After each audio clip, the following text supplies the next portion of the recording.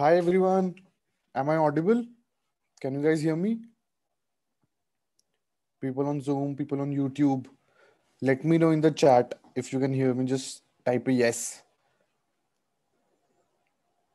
Okay, okay. Hi, hi everyone. Okay, so we've already been delayed uh, by a bit. So what we'll do is we'll jump into what we're going to discuss today right away. So what we're going to discuss today obviously is uh, the growth of data protection in the realms of privacy and data protection in our world and what exactly are the work opportunities available in this domain? What is the role of a lawyer in the world of data and privacy? So uh, guys first let me ask you a question. Have you heard of the phrase data is the new oil have you heard of these this phrase just write yes in the chat box if you have. Data is the new oil. Okay, no response. So uh, maybe you have not heard of this phrase. No worries. So uh, what this phrase essentially alludes to is the importance of oil as a resource in the industrial age. So just as oil was a very an extremely important resource that drove the industrial age a century back similarly data holds a similar amount of importance to today's age which is the information age so we've moved from the industrial age to the information age and just as oil needs to be refined into uh, various things such as fuel such as gas such as plastic to be of actual use. Similarly, data too has to be studied, analyzed, and broken down to be of actual value. Right. So, uh, and this is the model on which most online businesses are built upon. So, all these businesses, such as Facebook, such as Google, such as Microsoft, they are built upon the notion of collecting and monetizing data however uh, even while this is happening more and more around us today and uh, this debate has been vaulted to the fore of circles, especially in context of the current scandal around WhatsApp's change in privacy policy. However, people are still a bit unconcerned about every single, they are not aware that every single like on social media and every harmless web search is being meticulously recorded to create sort of a digital footprint and a digital footpath that reveals things about you. And it reveals things about you in a manner whose intimacy would actually leave you speechless. So, so uh, one might think that social media search engines all these are free services but they're not free services. And actually a major portion of the revenue of these big tech companies uh, like google amazon facebook and apple a major portion of the revenue is actually dependent upon monetization of data and that data is actually yours it's your data it's not their data it's information that is pertaining to you Okay, Urvashi says that I'm not audible. Rakhi, can you hear me? Or uh, you can't hear me either?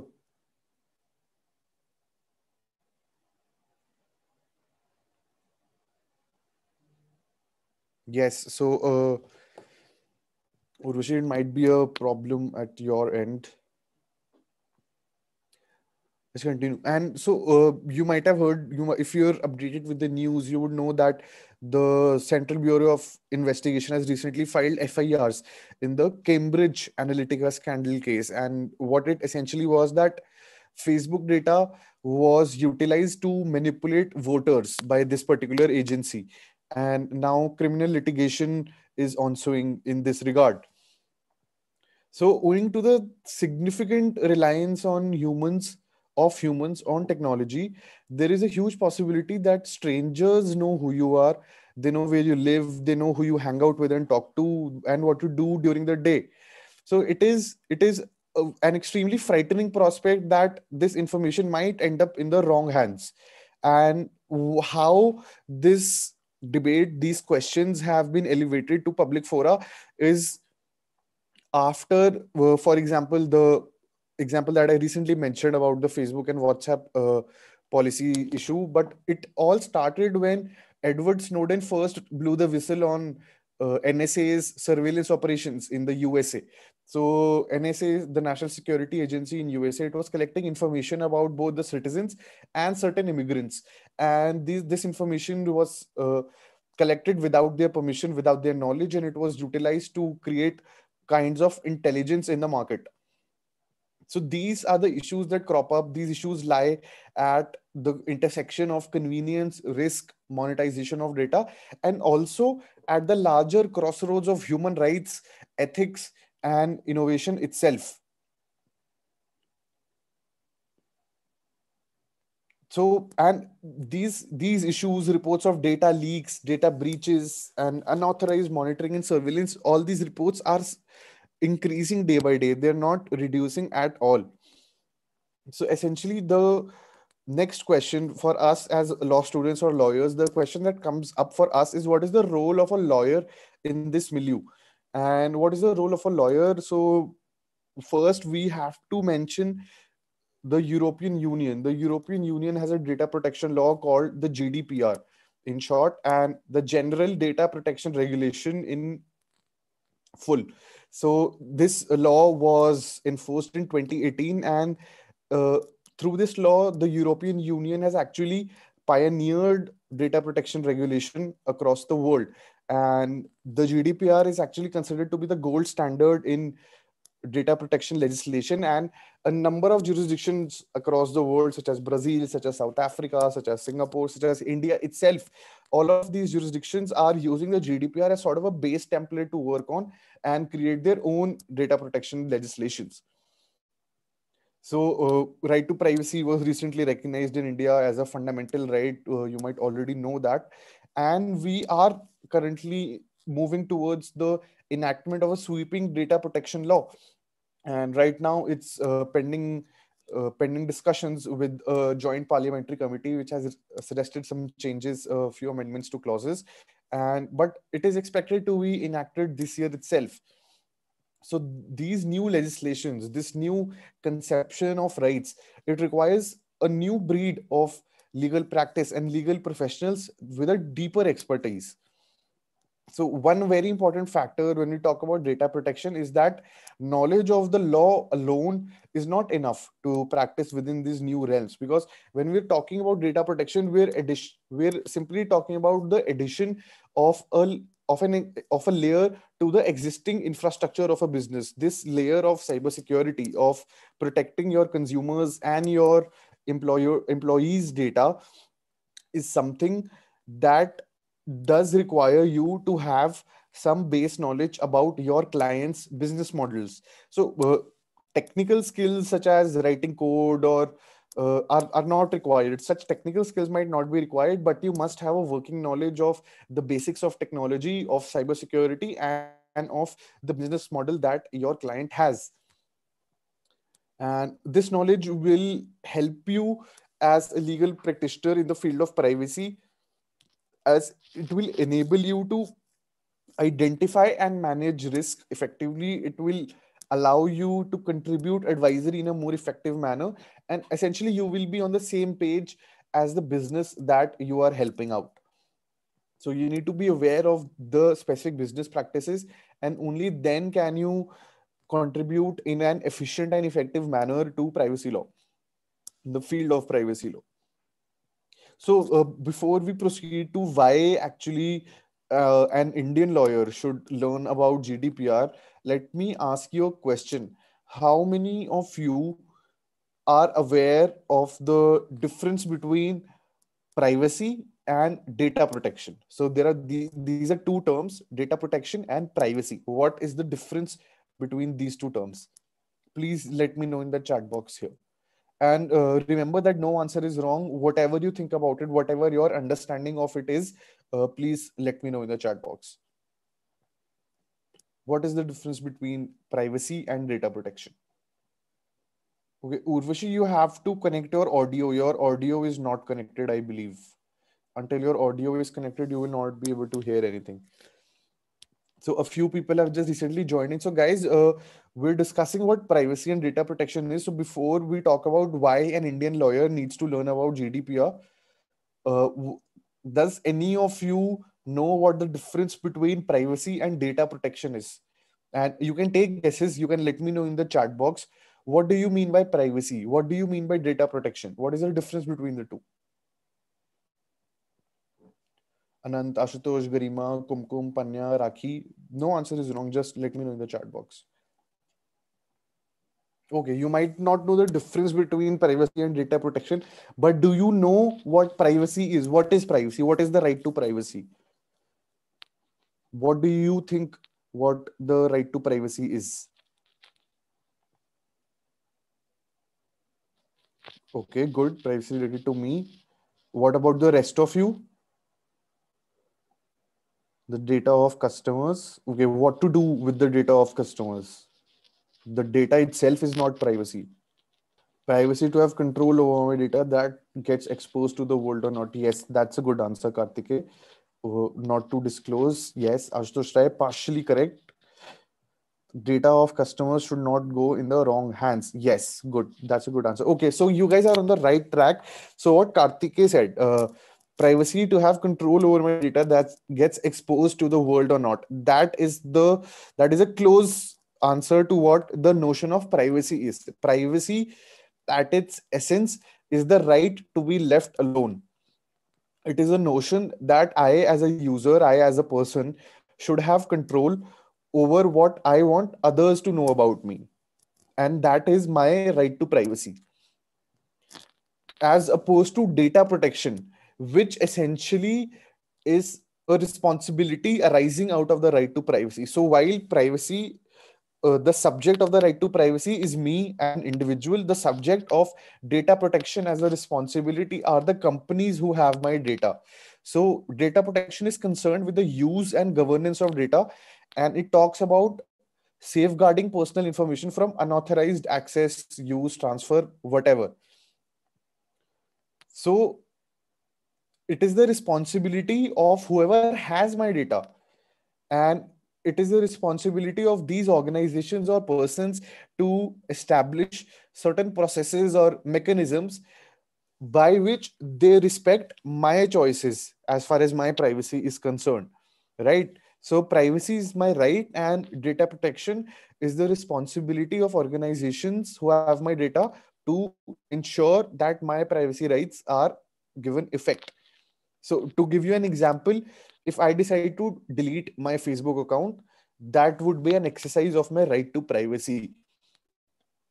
And once I've chosen to delete my Facebook account, Facebook goes ahead and Facebook ensures that that data, that my account data is removed from its server. That is data protection on the part of Facebook. So that is the difference between the notions of privacy and data protection. Always keep this in mind because this will be very helpful for you during practice. So privacy and data protection, the these are definitely not synonymous terms as we have seen, and the presence of one does not guarantee the presence of another. Both have to go hand in hand towards ensuring security in the world towards ensuring data security in the world. So, why should an Indian lawyer, first of all, uh, learn about GDPR? That is what we're talk, going to talk about now. So, first of all, uh, the GDPR has huge, huge fines. So far, GD, uh, under the GDPR, more than 400 companies have been fined, and these companies have been fined around a total of around 250 million euros and that is a huge huge amount. So the fines that would come into place if uh, you're in violation of the gdpr those fines are huge. And the applicability of gdpr itself is very extensive. So the gdpr states that if you have any customer that is in the european union if you are providing a product or a service that is available to customers in the european union then you have to comply with the gdpr now, that essentially means that the GDPR has an extraterritorial scope. It is applicable internationally, and data regulators, data protection authorities in the European Union can actually cite GDPR to fine you, even if you are here sitting in India. But if you are your website or your service is being availed by a European through the internet, and that means you will have to comply with GDPR, or else you might be fined, and the fines are huge. So that is the essential reason why GDPR is relevant worldwide because it has international scope and applicability. The fines are huge.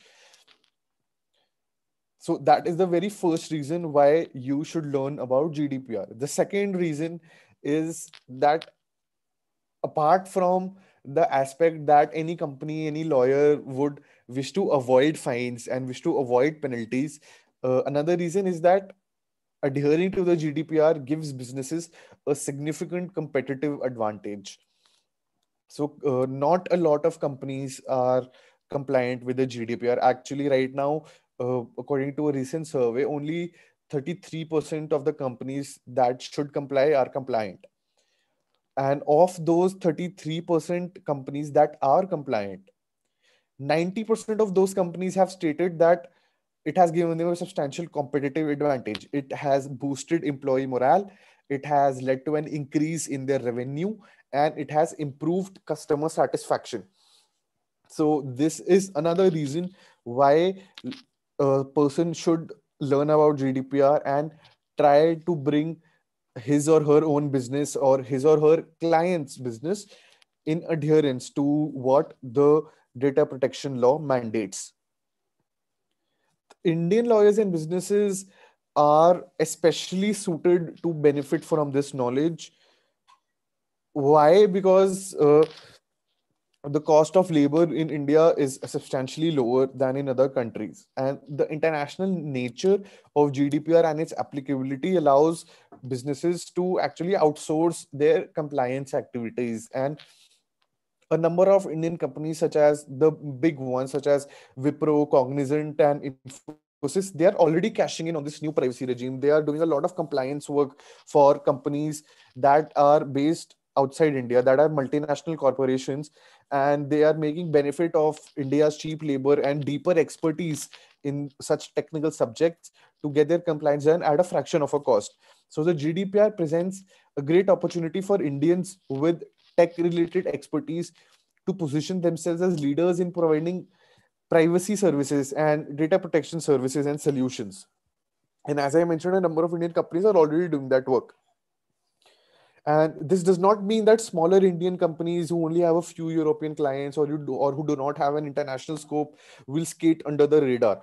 Because even if a simple payment gateway is used inside the European Union, say a PhonePe or a Paytm or a Razorpay is used by a European resident, or even an e-commerce portal, say uh, someone orders something using Flipkart or Myntra so all these companies will need to comply with gdpr they will need to rework all their policies all their terms conditions and practices to reflect the requirements posed by the gdpr so, and there are other industries that that are impacted by this as well. Since a european citizen is protected by the gdpr wherever the citizen might travel the fallout the applicability is not limited to tech companies or to online businesses alone. Even banks uh, business processes business processes outsourcing industries the airlines industry the hotelier and tourism industry all of these must be on the lookout for complying with the regulation. They are on the clock and they must comply with the regulation. And we have already seen that enforcement under gdpr is quite quite massive. The data protection regulators are very active and they are not hesitating in inflicting substantial fines on the companies who violate the GDPR.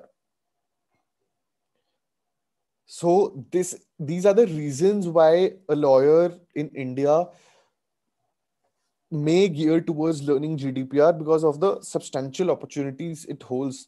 And uh, over a, over the course of many conversations that I've had with various other lawyers and even in-house counsels working with companies, so what most of them in the tech field feel is that the work around data protection and regulation is going to be the big thing at least for the next couple of decades. And because it is still growing it is still it is yet to achieve maturity and all of the major work around it is still pending. As i said only 33% of companies are according to the survey uh, only 33% companies are compliant with gdpr so a lot still remains to be done.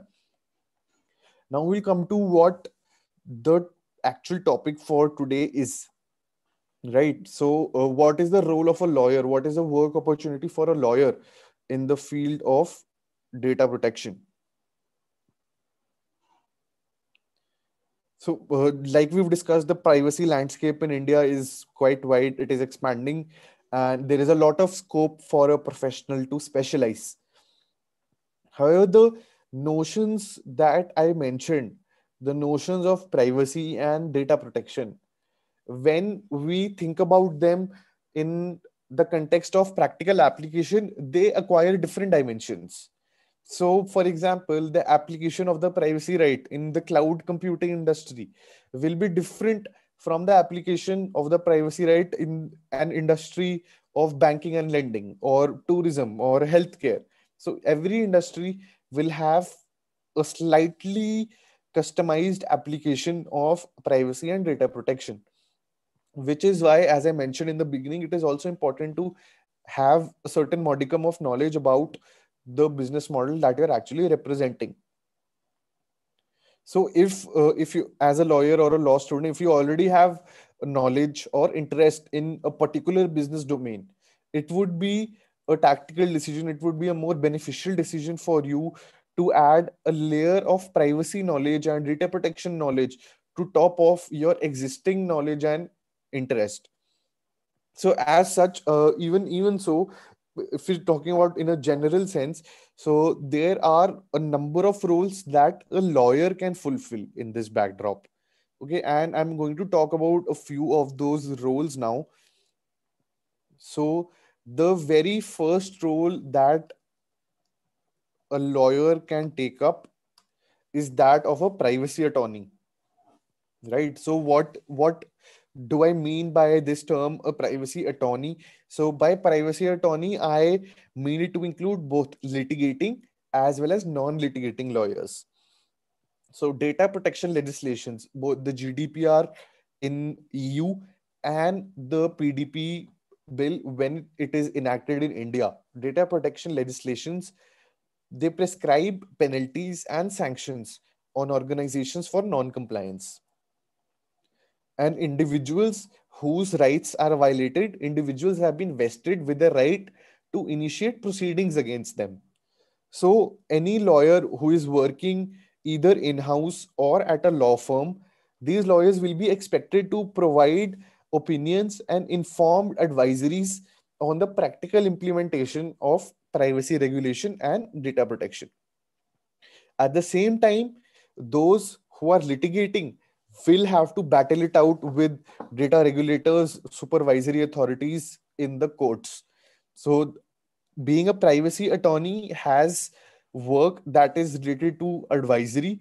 If you're uh, a counsel in a, at an in-house firm, at a firm, or in an in-house department, and there is work related to litigation as well.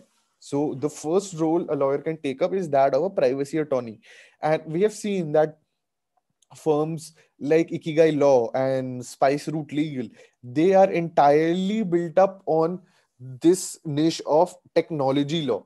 And uh, one interesting fact I would like to share with you is that the uh, ranking firm that Legal 500, the research firm that ranks law firms in India, this year for the first time it has recognized data protection as a completely separate practice. Earlier, it was clubbed under the technology head, and the only vertical that was spoken of was the TMT vertical, technology, media, and telecommunications. But this year, it has been hived off into a separate vertical itself. And firms like Ikigai Law, Spice Route Legal, they are already carving out a sizable market share and name for themselves in this particular vertical also the legal teams like i mentioned at wipro infosys cognizant tcs they are also already cashing in on such roles of the role of a privacy attorney. So that is the first kind of role that a lawyer can fulfill in this regard. The second role uh, that a lawyer can fulfill is that of a compliance professional. So data protection and privacy regulation mandates all these organizations and businesses to appoint people who take charge of ensuring compliances. So the second role is that of a compliance professional. so you have to essentially appoint certain officers certain managerial positions within your organization and business who would be responsible for overseeing organizational behavior and processes with respect to handling of data such as the gdpr mandates the appointment of a data protection officer. And such personnel would be responsible for ensuring that whatever behavior whatever processes whatever activities that the organization that the business performs with respect to user and employee data all these behaviors and processes should comply with the gdpr or comply with whichever data protection regulation is applicable to that business. And so this is another niche another role that a lawyer can fulfill that of a compliance professional. And especially in-house lawyers those who are already working in in-house teams they would be exceptionally suited to this role since they already have a handle of how their organization functions. They already know what the organizational behaviors and processes are and they would simply have to bring those in line with the requirements of the gdpr or the pdp as applicable so, a compliance professional is the second kind of role that a lawyer can fulfill with respect to privacy and data protection law. The third kind of role that a lawyer can fulfill is would be it would be industry specific in general. It cannot be a generalized role. It would be an industry specific role uh, because as as i discussed before the interaction of existing industries with privacy and data protection is set to grow. It is already growing and independent lawyers who already have a portfolio of clients with uh, certain kinds of businesses would do well. It would be in their best interest to study how these new tenets of law these new regulations apply in the specific context of their clients business areas. For example if we talk about banks if we talk about fintech there are separate data protection regulations uh, given out by the RBI also. Even when the PDP bill comes in when the if when it becomes an act so we still have the RBI's data protection directives at play. So the role you the role that an independent lawyer can take up can be quite industry specific in general especially if you already have a portfolio of clients with certain kinds of businesses.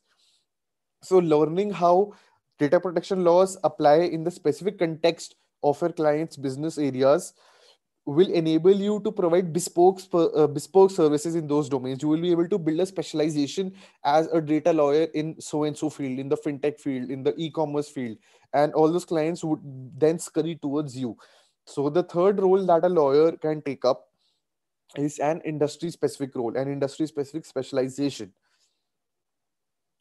The fourth role that a lawyer can take up would be that of a policy advisor or analyst for that matter.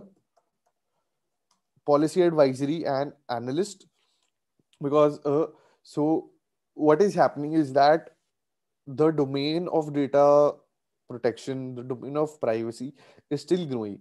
In a few jurisdictions such as the european union it has already matured into a comprehensive law in a comprehensive regime but in a number of jurisdictions the scope is still growing. It is still in its nascent stages. The law has not passed such as in india itself.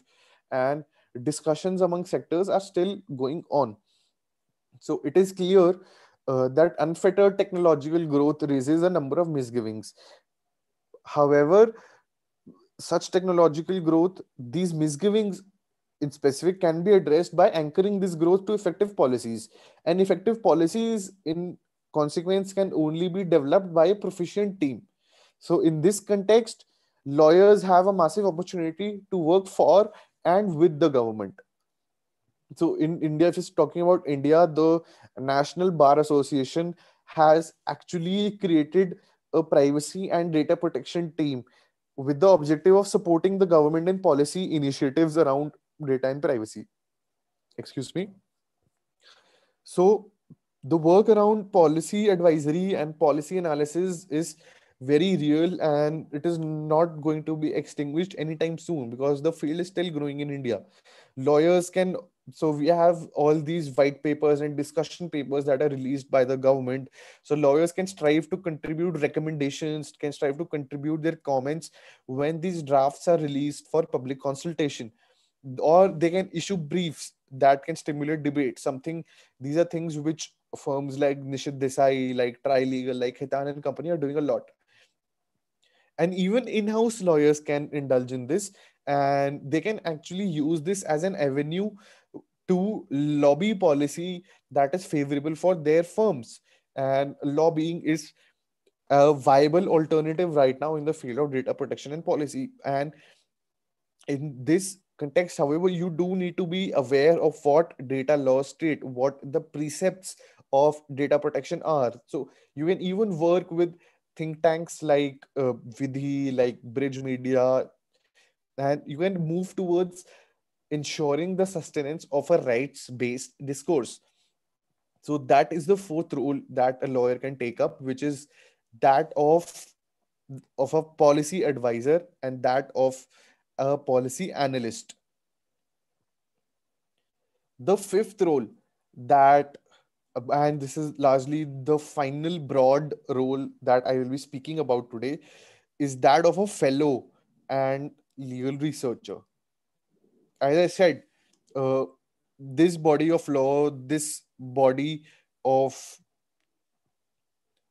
this regime is still developing. It is still in its nascent stages and therefore there is a lot of scope for people to contribute it both uh, academically as well as practically. So publishing academic papers collaborating with a research institute earning a fellowship it is a veritable way of contributing to a growing body of much needed knowledge. There is a lot of uh, lot of mishap mishaps happening in this field uh, lot of awareness is missing that must be there. And that is a gap that you can fill. You can become a scholar you can become a fellow you can become a legal researcher. So actually one of my friends that i uh, one of my friends uh, recently uh, got appointed as a legal fellow with an institute that is based in denmark. And that institute it is called the future of free speech. It is associated with other entities such as uh, the columbia law school and the global freedom of expression movement and he's doing well. He's meeting new people. He's getting to learn new areas of law and he's contributing to the academics. So uh, in this role you could track legislations. You could provide real-time updates to both organize specific organizations as well as the public. And you can have you can actually build this role actually to become kind of an advisor to multinational corporations on how global privacy law can impact their operations. Because the maximum work under uh, privacy law will be with respect to multinational corporations because every jurisdiction will have a different regime for data protection and they will need help to navigate it and that help they can get from the domestic people in each of those jurisdictions. So lawyers in these areas they can also get into tech journalism. So like media nama medianama medianama is an entirely tech focused journalistic endeavor. So they can also get into tech journalism they can get into awareness projects so even big firms like Shardul Amarchand Mangaldas, like Cyril Amarchand Mangaldas, they have set up teams of research scholars. I have a batchmate who is actually appointed as a research scholar with Shardul Amarchand Mangaldas and working in this field. And these teams, these new age teams, are entirely and this is different from a typical knowledge management team let me tell you. And these teams are typically filled up with such research scholars and lawyers that are having such academic oriented profiles. So these are the few roles the five broad roles that a lawyer can fulfill in these in the domain of data protection and policy. So what actually is the work that you will be doing? The work actually that will happen will largely relate to as i mentioned and this is a direct inference from the rules i've discussed with you and i've already informed this to you. Uh, the the work that will come up with be with respect to compliance of course compliance dealing with regulators in each jurisdiction and uh, the other other work that will come up uh, it will largely be related to contract drafting contract drafting will form a large portion of your work. You will have to ensure the drafting of various terms and conditions various policies platform conditions data processing contracts. All of these should be in line with what the law requires you to do. For that you'll have to study the law and use it to co- draft your contracts accordingly. You will have to learn how to obtain specific and explicit consent. That is a big debate in privacy circles right now. Drafting privacy notices, drafting data processing agreements, classification as a data controller or a data processor or data fiduciary, mapping of their obligations, segregation of data, identifying appropriate lawful basis for the processing of data conducting data protection impact assessments, conducting risk assessments, and implementing breach notification procedures in case any data breach is done, how to notify the persons who are affected. So these are the practical tenets of work that you will be finding in the five roles that I discussed with you today. So guys, uh, these these this is mostly what we had to discuss today. And i know that it seems a bit scary to uh, learn about so many new developments so many new terms in just uh, one go. And but you should remember that all of this information that i've discussed with you and if you want to learn about gdpr or data protection in general or gdpr in specific all of this information all of these documents are available in the public domain. You can actually uh, go through the internet you can conduct deep deep research as i have and then you can find all this information. You can learn all this work by yourself. However if you feel uh, that you need some guidance to go about to go about this you can log on to lawsikho.com and you can request one of our counselors to call you. And our counselor will call you and uh, they will guide you on the choice of your career. They will talk to you about how you can build your skills in the career that you are interested in. So all of this uh, we can make it happen. And lawsikho.com is the website you should go to. Just drop your details there. You will see a tab which says request callback and you can leave your details there and one of our counselors will call you. And you can have a look at uh, the cyber laws course on the same website. The cyber laws course actually uh, covers everything that i have discussed with you today. It discuss it covers all aspects of the work that i've shared today. And we actually teach our students through practical exercises to perform those kinds of work. So uh, do have a look at the syllabus at the exercise or have our counselors call you. And do you have any questions for me now? Put them in the question and answer box. Is there a question and answer box? No there isn't. Just put them in the chat box. And i'll answer your questions.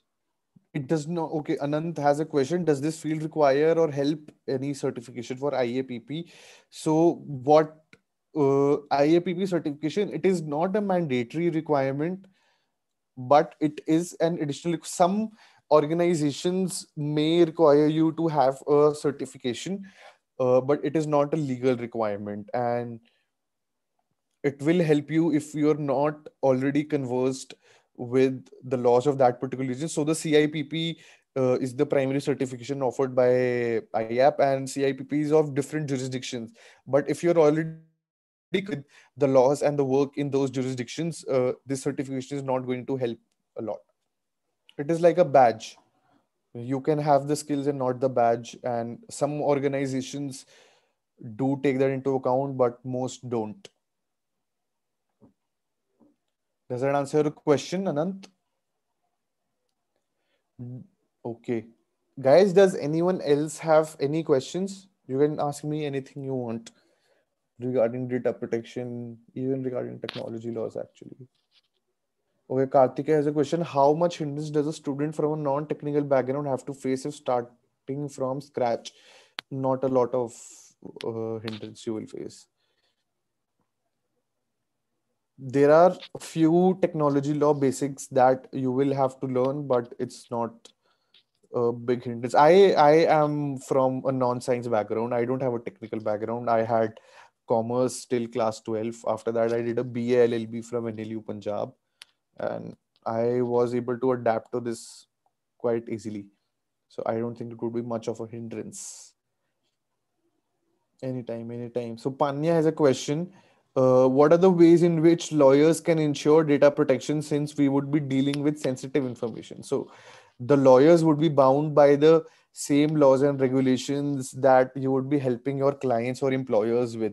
So once you have knowledge of those laws and regulations, and you would be helping your clients and businesses implement those, you would have to implement those requirements within your organization, within your practice as well. So that is how lawyers would deal with sensitive information. Anyway, the information that a client or uh, that a client shares with lawyer is protected by privilege, and it is not it cannot be divulged anywhere, or lawyers are held liable. So that is another aspect in this context. Any more questions, guys? You have any questions for me? Any doubts that you have? Feel free to ask me. Can you tell me? Okay, I'll just ask you one thing. Can you tell me?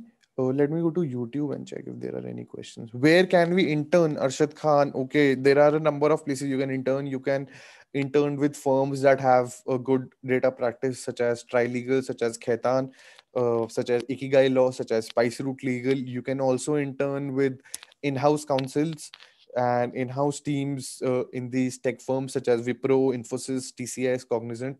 All of these are places where you should be looking to intern.